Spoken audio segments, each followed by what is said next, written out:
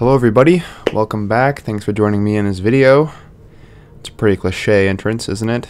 Uh, anyways, um, we're going to be making a cartoon shader today, and in two videos at least, I broke it up into two of them. So this cartoon shader is great, you can do a lot of things with it, you can change the opacity of all the colors, um, you can blur it, um, there's a lot of different really cool looks you can, you can make with it, so I'm pretty excited. But on the first video, we're going to be go going over the basics of the shader, how it works, um, what's gonna what we're, what nodes we're gonna use, I guess, laying down the basic framework, and uh, that's about it. In the second video, we're going to be putting it all into a group node, putting on the final touches, and making sure it looks as clean as we can get it. So that's about it. Uh, let's jump right in. So of course, when you open up Blender, this is what you're going to see. It's just a diffuse shader, so delete that and add in four emission shaders like this. I labeled mine primary color, shadows, edge, and highlights. I also gave them a couple differenti differentiating colors there so we can tell them apart. Let's uh, let's start then by mixing them together like this. And then we're going to be adding in um, some inputs to the factor of the mix shader, which will then determine where the colors get placed on our mesh. So the cartoon shader, one of the hardest parts about it is getting the light direction right. And so one of the things that the shader uses is an emulated light source. So what we do then to make the emulated light source and have it respond correctly and react to the light source like it would a typical light source is use a normal node. And what happens is when you plug in the normal output of the geometry node into the normal input on the normal node, the dot output of the normal node gives us a black and white map of the quote-unquote light source. That was a mouthful. Whew. So, to give you guys a demonstration, I plug the normal node dot output into the color ramp input, and then that output into an emission shader. And now, if I play this video for you, you can see here how when I move the normal sphere on the normal node, the light on the sphere changes. And when I change the interpolation on the color ramp, the light fall off changes on the sphere. So yes, and then for this shader we're going to be using the constant interpolation and that will give us the nice hard edged shadows that, um, that we need. So that's about it for the basics. Uh, let's jump right into Blender and let's just get started. Alright guys, here we are in, in Blender. So let's get started. So um, everything's the way you just saw in the PowerPoint and uh, we're just going to start making the inputs into the mix shaders. So the First input here is going to be the shadow. So just like we did before, we're going to uh, feed that into a color ramp. Feed the dot into a color ramp. And then let's just see how it looks and feed the, uh, the color ramp into the mix shader. I'm going to turn down these other mix shaders so we can um, see the effect a little better. Okay, you can see we're getting some shadows. Let's turn the interpolation to constant. Okay, so there, we're getting shadows.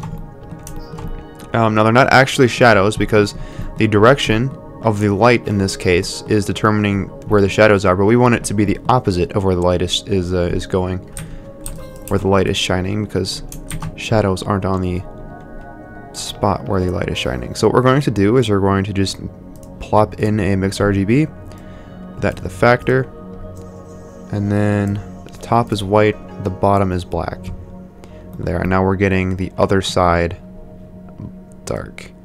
And we can use the, um, the color ramp here to adjust how much of the shadow we want to actually be on our character. Cool. So there's the shadows.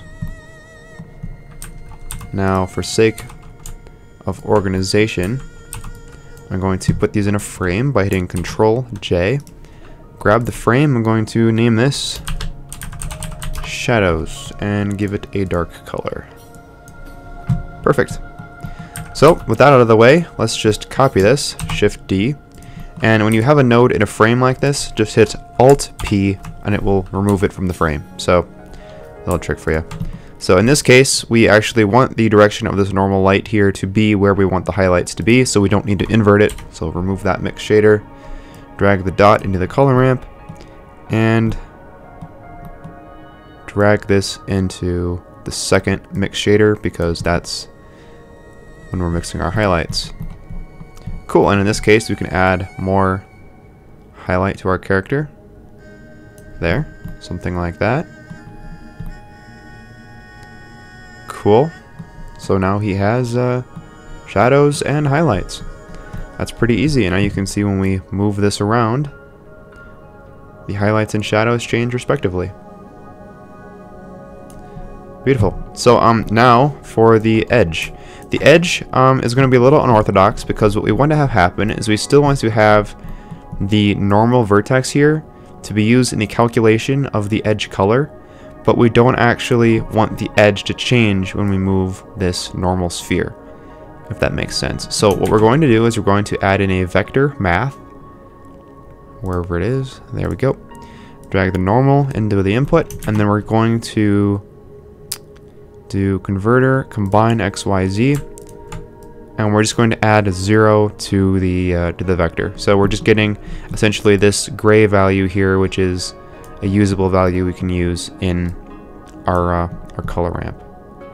Oh, um, I'm gonna put this in a frame as well. What am I doing? Highlights and color that white.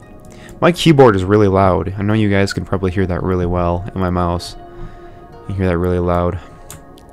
My, my apologies if it is bugging the crap out of you. Okay, let's just drag and drop a color ramp in there. Put the value into the color ramp and drop that into the mix shader. Now you can see we're getting a terrible looking uh, edge that's because what we need to do is we need to add in a layer weight like this, hook the value into the blend, and then set this to Fresnel, which it's doing.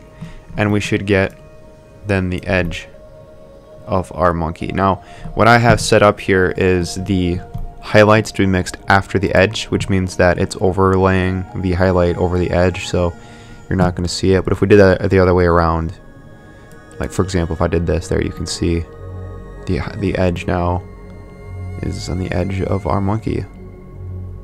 Just like that. So that's how we kind of work around that. Because what's going to happen is when we add in the blur, we're going to end up blurring the vectors. Um, and so we want the edge to be blurred as well.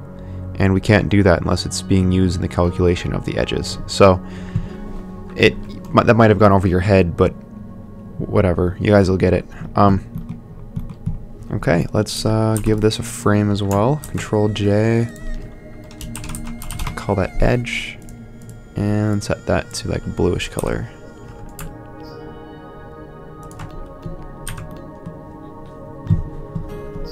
Okay, great. Now, um, one thing though, this shader right now is stationary. You can see the highlights and the shadows, they stay right where they are when you move around the monkey.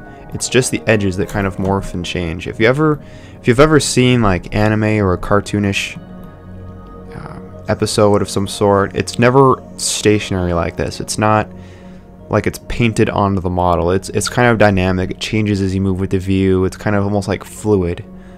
You know, it kind of gives it that artistic look. So what we do to, to make that happen is we add in a layer weight, Alt P, to um, to our color ramp here, and then we hook facing to there. And then we change this slider. And now you see as we move around, it looks absolutely terrible, and that's because this needs to be plugged into the blend. There we go. So now as we move around, it kind of moves and changes depending on where we're looking, and you never really get the same highlight twice, if you know what I mean. We're going to do the same thing then for um, for the shadows. Make sure that's facing. There we go. So now we have these kind of fluid dynamic shadows and highlights that are moving. And so it gives us kind of that liquid look when it comes to the, uh, the cartoonish effect. Perfect. So that's basically it.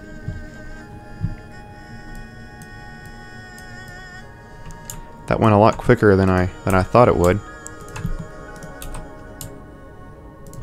Maybe I'll just do everything inside uh, inside this one video. We'll see. Um, the only other things we want to be able to do is to change the opacity of the shadows and highlights and everything like that. So what we're going to do is we're going to mix the previous mix shader in a new mix shader. So this mix shader right here is going to be mixed between this mix shader and then the input to this mix shader, which would be the primary emission. Then using this slider, we can change the opacity of that shadow. Right, and the same thing for this one. We're going to duplicate that. That's going to go there. And the input is this edge and this one here. So we're going to mix then the previous mix shader with this new mix shader. And that will allow us to change the opacity of the edge. And then we just do that for one more here. Mix it with that one and the previous mix shader. And that will be the highlights. There, so we can make the highlights and shadows uh, much softer like that.